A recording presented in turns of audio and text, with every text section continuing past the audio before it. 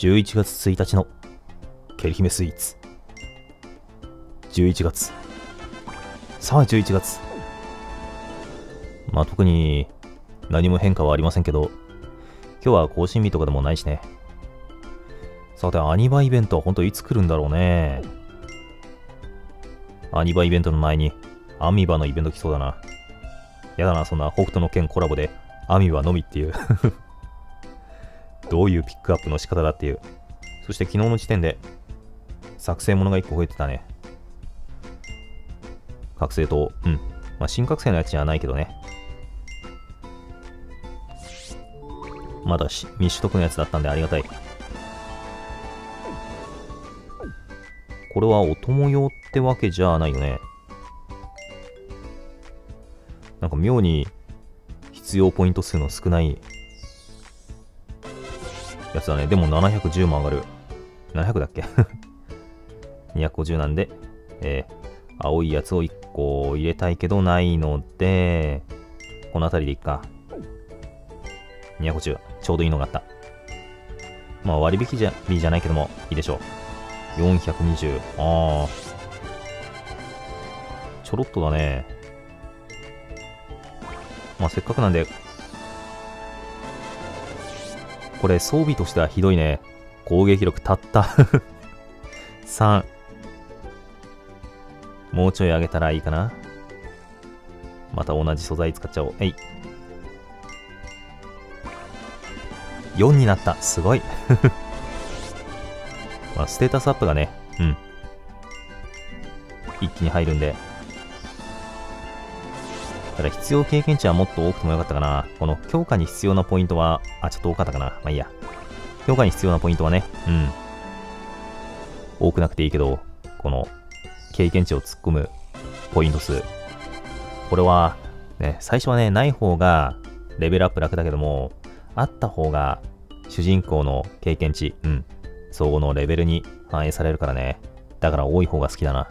さあ、プラス5まで上げると、なんと、驚きの攻撃力プラス6。でも覚醒武器だからね。うん。まあ、始めたばっかりの時はいいんじゃないのかな？というか、あの、素の攻撃力もあるから、その武器の攻撃力よりも、もちろんそっちも大事ではあるけども、うん。素のステータスでどうにでもなるから、武器の攻撃力が大したことなくても、そこは職業で選んじゃって、いいと思う。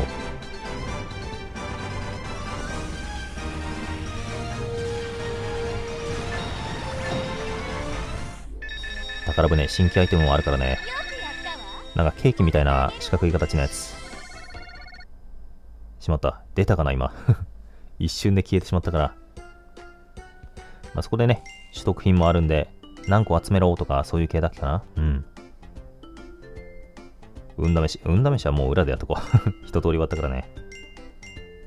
で、新規アイテムで、まだゲットしていないものは、何？K とかい金箱。どうしようかな。金箱アップのに変えとこうかな。素材アップのは前のイベントの時のそれ用だった気もするし。ドレスで、チェック。プラチナアップもの、素材袋アップもの、金箱アップ。うん、こっちにしよう。金箱だから別にね、うん。大したことないって言うと変だけど、まあミリオネアで出してもいいし、それこそ主人公の俺をミリオネアにしておいた方が、周りにはありがたいのかな。で、属性がまだパーの状態なんで、先に突撃対象でもよかったね、これだったら。このステージちょっと BGM デカめのような気がするな。使ってる音色のせいか。で、属性がグーになったんで、弱点をついて、これで沈めます。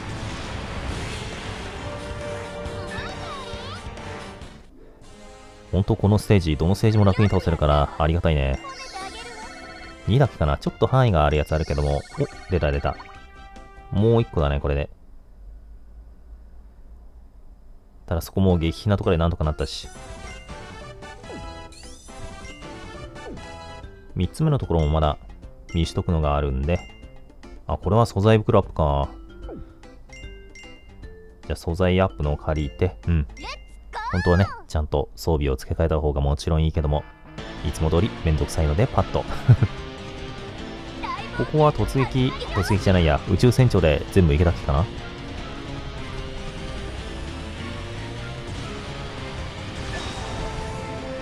いけませんでした。やだな、こういうちょい残り。体調の方が良かったかな。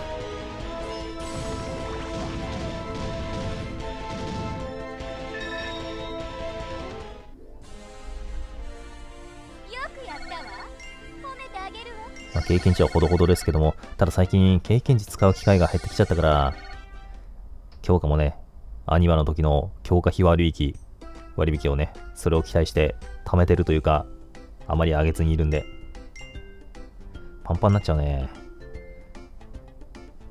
なんか経験値突っ込めるやつないかな それが月金の時にやっぱちょっと上げておくべきか。こういうのもね。まあ、ドレス以外は後で上げておこう。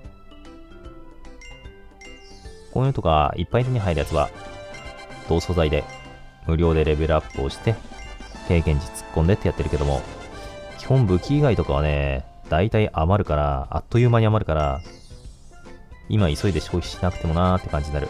武器はね、使うときにがっつり減るから、特に覚醒色の武器。だからできればね、あぶれないようしっかり使っておきたいけども。さあ、とりあえず今日はこれぐらいで終わりにしておきます。また明日。